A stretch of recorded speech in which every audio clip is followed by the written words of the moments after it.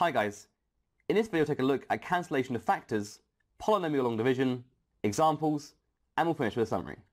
So how can we extend the process of cancellation of factors? We know that we can sometimes use factorization to simply divide two polynomials. Let's say we have, in factorized form, 3x minus 1 multiplied by 2x plus 3, and all of this is divided by x plus 2 multiplied by 2x plus 3. Then we are able to cancel the 2x plus 3's from the top and the bottom. This leaves us with 3x minus 1 over x plus 2. And then we are able to manipulate the numerator and make it into a constant 3 minus 5 over x plus 2, a proper fraction. In general, this can be quite challenging when there is no factor to cancel. Let's say we have the expression 6x squared minus 13x plus 6 over 2x squared plus 3x minus 5. Then we can factorize the numerator into 2x minus 3 multiplied by 3x minus 2, and we can factorize the denominator into x minus 1 multiplied by 2x plus 5. But here, there is no factor to cancel from the numerator and denominator, so how can we proceed? We would like to develop a method to simplify these polynomial divisions in general. So what exactly is polynomial long division? There are some important terms that we need to be aware of when referring to division. Let's say we have 425 divided by 25. The result of this is 17. We call the 425 the dividend. We call the 25 the divisor. And we call the 17 the quotient. In this case, we have a remainder of 0. 25 goes into 425 exactly. We can then rearrange this equation into 425 on the left hand side is equal to 25 multiplied by 17 plus 0. So our dividend is equal to our divisor multiplied by our quotient plus our remainder. The method of polynomial long division is similar to long division of numbers. This is the polynomial long division for 425 divided by 25. We have our dividend, the 425. We have our divisor, the 25. And we have the quotient, our 17. Then as a result we get a zero remainder. Then we can deduce that 425 divided by 25 is equal to 17 from this long division. Polynomial long division is best illustrated from an example. Let's say you wanted to take 2x cubed minus 5x squared minus 16x plus 10 over x minus 4. Firstly, we start by writing our bus stop and then writing our dividend 2x cubed minus 5x squared minus 16x plus 10 underneath the bus stop. And then we put our divisor x minus 4 over here. We start by dividing the first term of the dividend by the first term of the divisor. So we start with our 2x cubed, the first term of the dividend, and our x the first term of the divisor, and we compute 2x cubed over x. This gives us 2x squared. And then we write this up here, in line with the x squared terms in general. This becomes the first term of our quotient. We then multiply the answer we get, which is the first term of the quotient, by the divisor. So our first term of our quotient 2x squared, we multiply by the whole divisor. So we have 2x squared multiplied by x minus 4. And this gives us 2x cubed minus 8x squared. Then we write this directly underneath our whole dividend. And again in line. So we have a 2x cubed here and our minus 8x squared here We now subtract the second line from the first to cancel out the highest index term. So we subtract this line from our first line. This gives us a 0 for the x cubed terms, i.e. in particular, the highest index term has cancelled out. And then we have a minus 5x squared minus minus 8x squared, which causes a plus, and we have a plus 3x squared. We then bring down the first unused term to our new line. The first unused term is the minus 16x. So we get a minus 16x here on our new line. This new line becomes our new dividend, and so we can repeat this process until there are no unused terms. So we have our new dividend 3x squared minus 16x. We take our first term of our dividend and divide by the first term of our divisor, giving the first term of our quotient. 3x squared over x is 3x, so we get a plus 3x here. Then we multiply our new term of our quotient by the divisor, and this gives us 3x squared and then a minus 12x. Then we subtract this from the previous line, and this ensures that we cancel out our highest index term, and so we remain with a minus 4x. Then we bring down our next unused term, i.e. the plus 10. So we get a plus 10 here. Then we repeat again, dividing the minus 4x by the x, giving us a minus 4. Then we multiply and write it down, so we get a minus 4x. And then we have a plus 16. Then we subtract this line from the previous. The x terms cancel out, we have a 10 minus 16, giving us a remainder of minus 6. When there are no unused terms, we can write down our answer where the final number is the remainder. Here we have no unused terms. We cannot bring down any more terms into our final line. So this value is our remainder. Therefore, our division of 2x cubed minus 5x squared minus 16x plus 10 over x minus 4 is going to be equal to our quotient 2x squared plus 3x minus 4. That comes first. And then we add our remainder divided by the x minus 4 from our denominator. So we have a minus 6 over x minus 4. As a reminder, this is our quotient, the result at the top, and this value here is our remainder. Let's take a look at some examples. Our first example asks us to divide 2x squared plus 3x minus 5 by 2x plus 5. Our first step is to divide the first term of the dividend by the first term of the divisor. So we take our 2x squared, i.e. the first term of our dividend, and we divide by the first term of the divisor, i.e. 2x, and this gives us just x.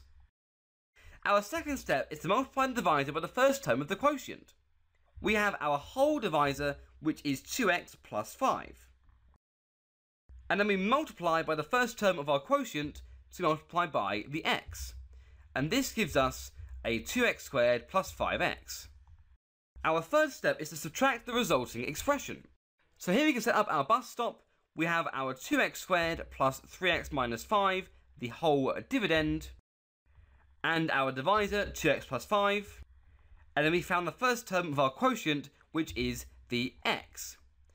We've multiplied and got 2x squared plus 5x. And now we're going to subtract off the resulting expression. So we subtract off this line from the first line, and this gives us a minus 2x. Our fourth step is to bring down the first unused term. Here bring down our minus 5. Our fifth step is to divide the first term of the new dividend by the first term of the divisor. The first term of our new dividend is minus 2x. The first term of our divisor is 2x, so we divide by 2x. And this gives us a minus 1. Our sixth step is to multiply the divisor by the second term of the quotient. So we now have our new term of the quotient, minus 1, and we can multiply our minus 1 by 2x plus 5 to give us a minus 2x minus 5. Our seventh step is to subtract the resulting expression. If we subtract this line from the above line, we're going to in fact get 0. And so our last step is to write down the answer.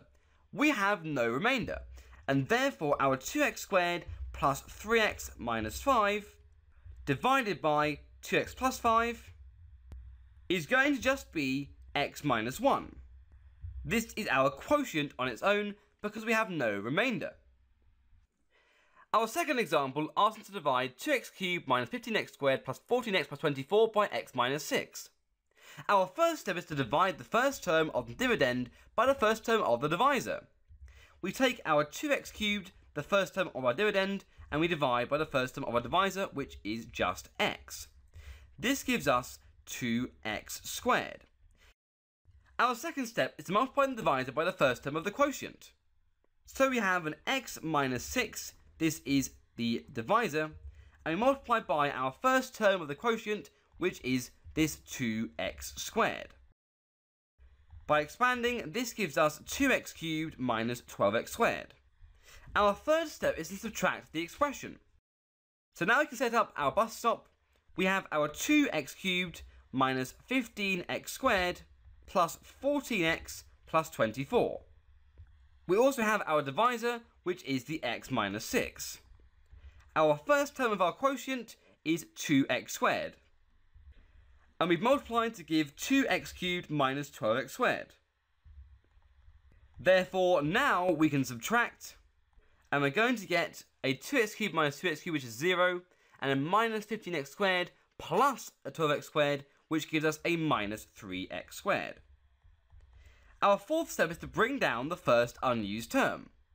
We can bring down our plus 14x to this line, giving us a minus 3x squared plus 14x. Our fifth step is to divide the first term of the new dividend by the first term of the divisor. So our new dividend is minus 3x squared.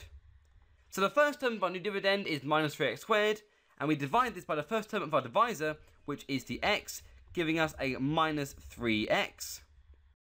Our sixth step is multiplying the divisor by the second term of the quotient. We have our divisor x minus 6. We multiply this by the second term of our quotient, which is a minus 3x. And this gives us a minus 3x squared plus 18x. Our seventh step is to subtract the resulting expression. We have the next term of our quotient, which is the minus 3x. We've multiplied and obtained minus 3x squared plus 18x. Now we can subtract this line from the previous, giving us a 14x minus 18x, which is a minus 4x. Our eighth step is to bring down the last unused term. We have this plus 24, which comes down to here. Our ninth step is to divide the first term of the new dividend by the first term of the divisor. Our new dividend is minus 4x. Our first term of our new dividend is minus 4x, and we divide this by the first term of our divisor, which is just x.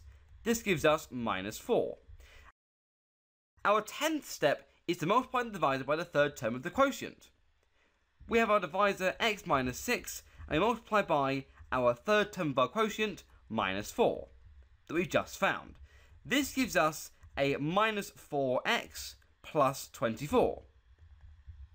Our 11th step is to subtract the resulting expression. We have our minus 4, our next term of our quotient, and we've multiplied to give a minus 4x plus 24. Therefore, we now subtract this expression from the last, and we get precisely 0.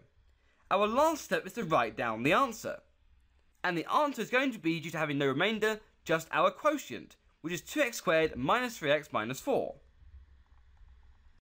Our last example asks us to find the remainder when 3x cubed minus 2x squared plus 4 is divided by x minus 1. Our first step is to divide the first term of the dividend by the first term of the divisor. our first term of our dividend is 3x cubed, and we divide this by the x, the first term of our divisor. This gives us 3x squared. Our second step is multiplying the divisor by the first term of the quotient. We have our divisor, x minus 1, and we multiply by our first term of our quotient, which is the 3x squared as above. This gives us 3x cubed minus 3x squared. Our first step is to subtract the resulting expression. Now we can set up our bus stop and we have our dividend 3x cubed minus 2x squared and then we should write in a plus 0x to act as a placeholder in case we need that column and then we have a plus 4. Our divisor is the x minus 1 and we have our first term of our quotient which is 3x squared. We've multiplied to obtain 3x cubed minus 3x squared. Then we can subtract, and we're going to get just x squared. Our fourth step is to bring down the first unused term. This is the plus 0x, so we get a plus 0x as a placeholder here. Our fifth step is to divide the first term of the new dividend by the first term of the divisor. Our new dividend is just x squared, and then we divide by the first term of our divisor, which is x, giving us just an x. Our sixth step is to multiply the divisor by the second term of the quotient.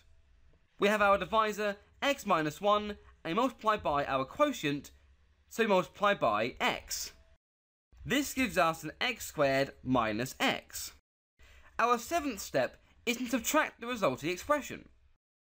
Our next term in our quotient is the plus x. Then we multiply to give an x squared minus x. And then we subtract. And this gives us just an x. Our eighth step is to bring down the last unused term. We have a plus 4 to bring down. Our ninth step is to divide the first term of the new dividend by the first term of the divisor. The first term of our new dividend is x, and the first term of our divisor is also x, and this gives us 1 upon division. Our 10th step is to multiply the divisor by the third term of the quotient. Our divisor is x minus 1. And our third term of our quotient is this 1. And so we just get x minus 1. Our 11th step is to subtract the resulting expression. We have our next term our quotient, which is the plus 1. We've multiplied to obtain an x minus 1, and then we can subtract and this will give us just a 5 as our remainder. And so our last step is to write down the answer. We have our quotient, which is 3x squared plus x plus 1. And then we have to add on our remainder, 5, over our denominator, or our divisor, which is x minus 1. This is our final answer. Hey guys, I hope you enjoyed the video. If you are looking for an amazing A-level math resource Join me today in my series of engaging bite-sized video tutorials. Just click the snap and by smiley face and together let's make A-level maths a walk in the park.